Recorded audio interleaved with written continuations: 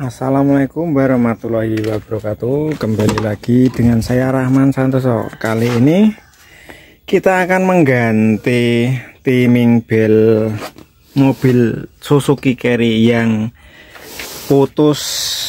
Nah kemarin kita sudah cek sini ya.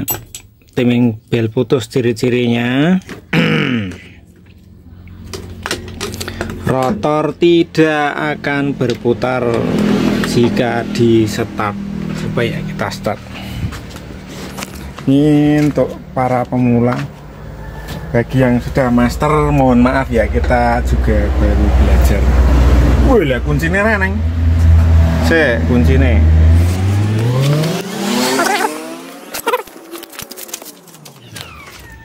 Nah, kita coba start ya kita kosongkan dulu jeglik.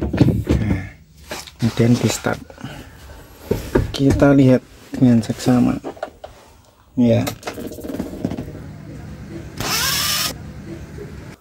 Ya. Nggak mutar kan rotornya? Artinya dapat dipastikan timing bell pedot alias putus. Nah letaknya di sini Baik, simak terus video saya. Semoga bermanfaat.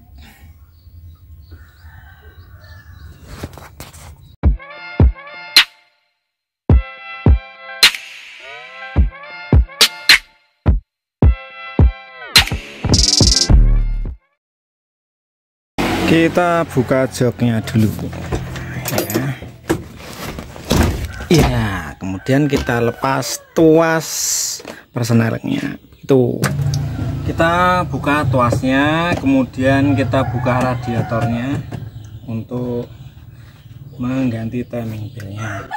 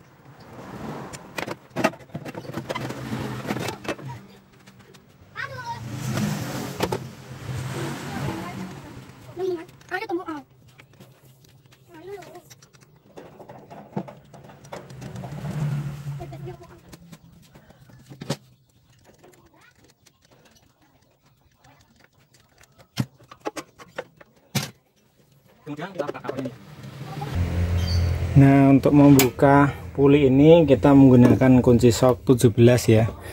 Nah, caranya bisa seperti ini. Jadi kita tekan di sini kemudian kita kasih penopang ya. Nah, seperti ini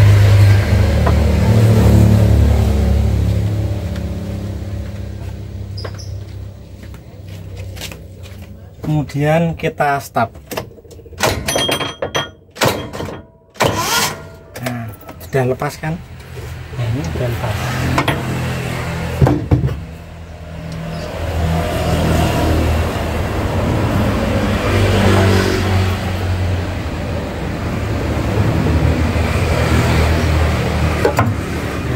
udah kan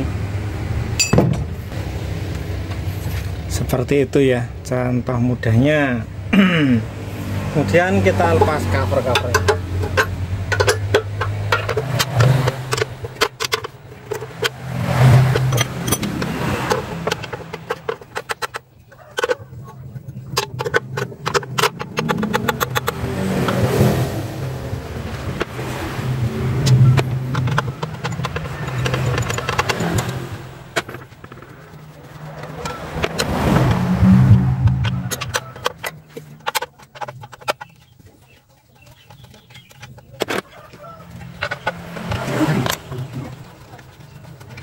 nah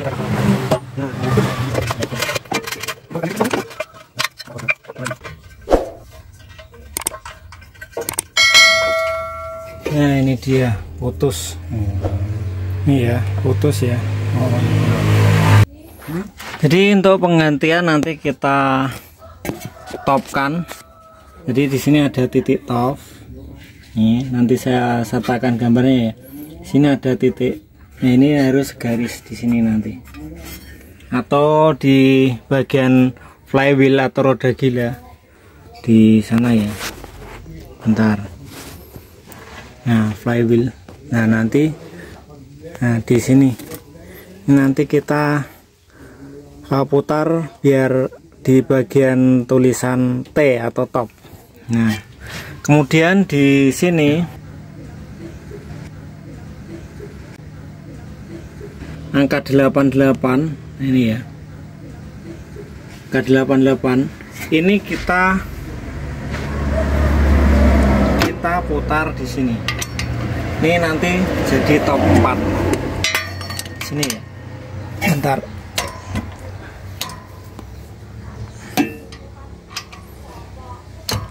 ntar ya agak tak kasih tanda dulu nah ini ini ya tandanya ini sejajar dengan tulisan ini angka 88 ini nanti di top di top 4 nah ini.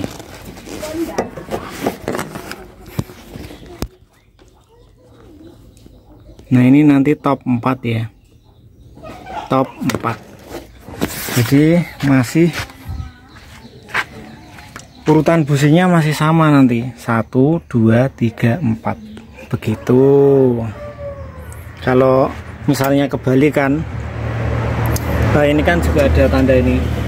Ini kalau di sini itu top 1 nah nanti sebaiknya menurut saya sih sama tensionernya ini juga diganti nih. Begitu